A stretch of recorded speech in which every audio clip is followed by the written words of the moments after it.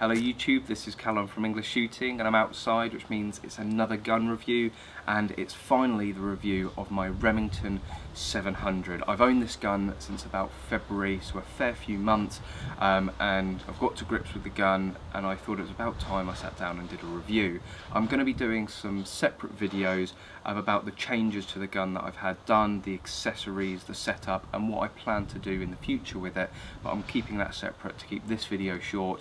I will will also be doing a separate review on the Vortex Viper PST scope, Kraken scope, but again I'll be doing that separate uh, to keep this video as short as possible. So this is a Remington 700 uh, SPS Varmint in 308. Um, pretty much as it comes out of the box. The only tweaks that I um, it came with before buying it was it was recrowned, it had the action bedded in and it had the tactical bolt handle added on. Apart from that, it is the standard rifle as it comes, standard stock barrel, yeah, as you see it. Out of the box and as it's come, you know, I haven't done anything to it apart from those minor tweaks, and they are relatively minor tweaks, but out of the box, this thing shoots brilliantly. Um, I've never been disappointed with it.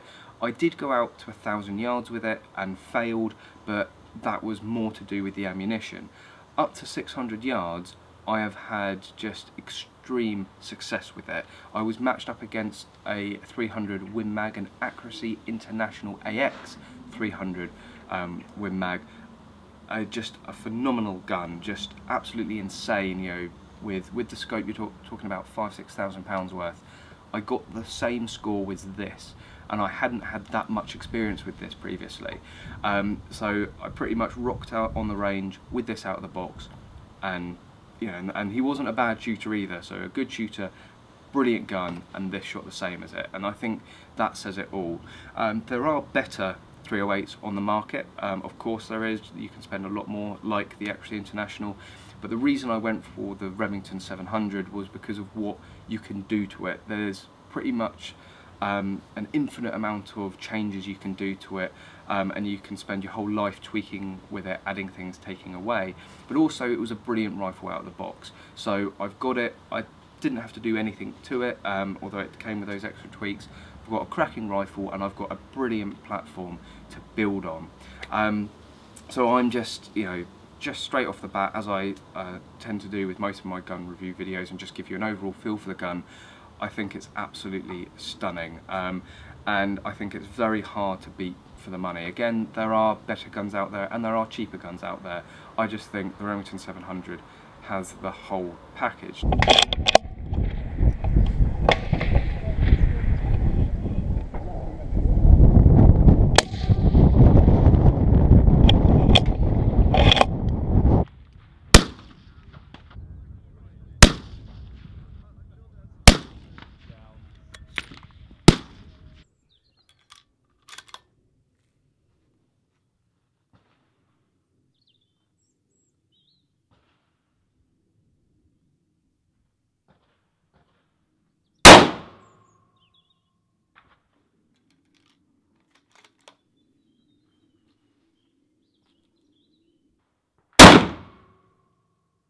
So the gun itself, all the features, if I just go over it pretty much top to tail, um, it's got the um, heavy uh, 26 inch barrels, the varmint barrel, so it's a thicker barrel, um, made for target shooting, long range, distance stuff. It's you know certainly not a lightweight hunting rifle.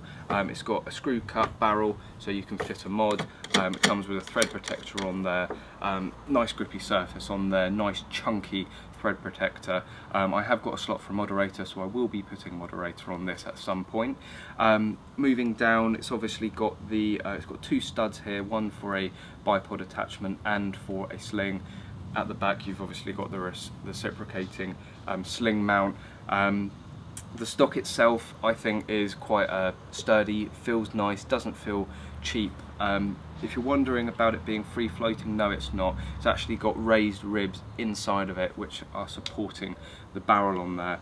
Um, but for now, the you know using the stock and talking about the stock, um, I think it's perfect for what I want to do at the moment. I think most people like to think you know, this, the stock's a bit of a Marmite thing. Some people just absolutely hate them, have to rip them straight off the gun and put their own on there.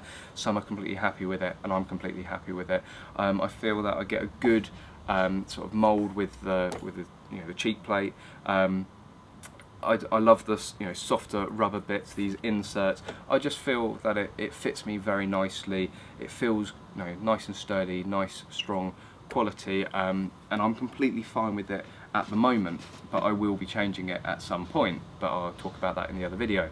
Um, moving down, the barrels are replaceable. You can add your own, um, you get aftermarket one, again a huge feature of the rifle. Some of the cheaper ones like the Howa, you can get a brilliant Howa package um, in 308, but the barrels are non-replaceable, so you wear out the barrel, say goodbye to the gun. But this, you can keep on living forever. You can just replace the barrel. Um, the action itself, it is drilled and tapped for a um, scope rail.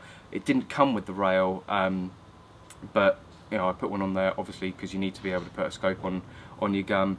Um, it's just four screws, screw it down, really simple. I will be um, bedding in the scope. I will be using um, you know like that metal compound to actually just bed it in um, and get it nice and set because there is uh, flex in it. The top of the action isn't perfect so you do get some um, flex in the actual rail so you bed it in basically to eliminate that and it takes any stress off the scope and helps improve accuracy.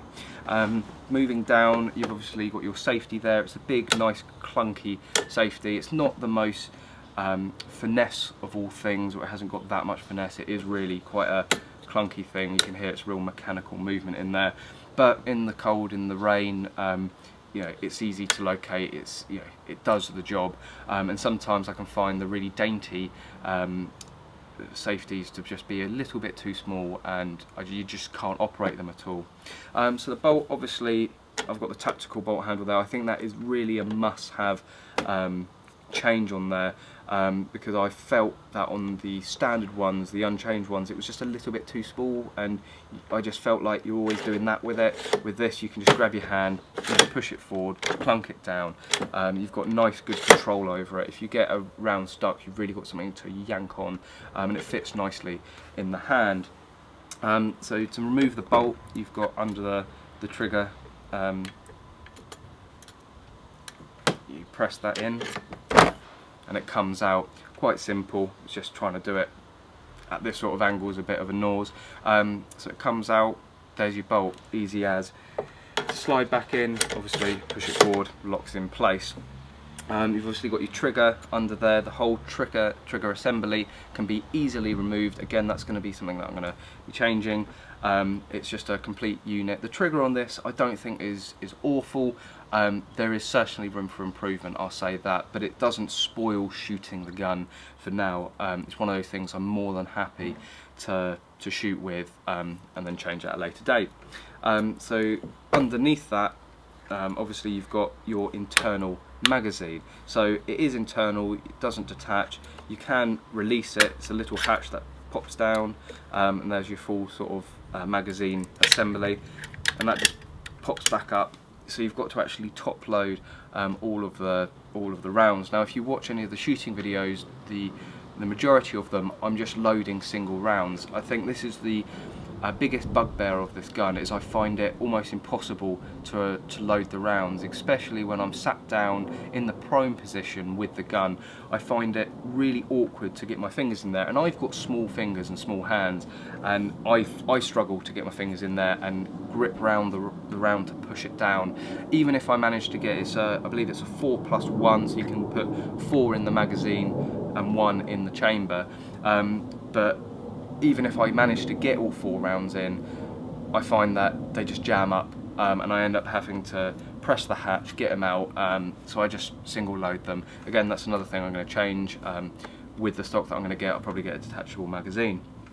Um, so yeah, that's all the sort of action or the bolt. The bolt itself I think is smooth enough. Um, obviously it's one of those things that will wear in a little bit more as I shoot it.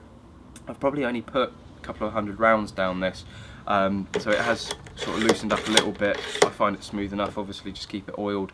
It's going to last you know, a very long time. Absolutely solid actions. The actions on these guns are pretty much the basis of many custom builds. Um, they are very, very well renowned, um, strong, reliable, accurate actions. Um, so you really can't go wrong with them. Continuing moving down, um, obviously you've got your rubber um, butt pad here and your stock, um, or the end of your sock here. The, the rubber I really love. Um, again, one of the things that uh, combinates in me loving this rifle so much is that it's a joy to shoot. Um, I've shot um, plenty of different rifles, target rifles, you know, um, multi-shot bolt actions, um, sort of this style, hunting rifles, loads of different ones.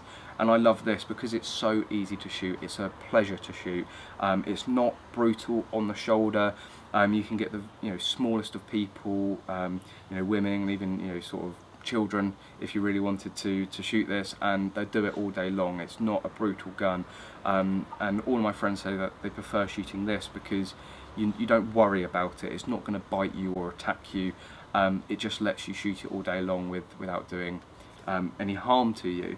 Um, so yeah, that's a complete top to bottom of all the features. If you have any more questions about it, you want to know anything about it, um, or you'd like to see any specific videos about it, please just drop a comment in the comment section below um, and I'll happily make any videos you want. But as always, thank you very much for watching this video. I hope you found it useful and I hope you've enjoyed it and I hope to see you soon.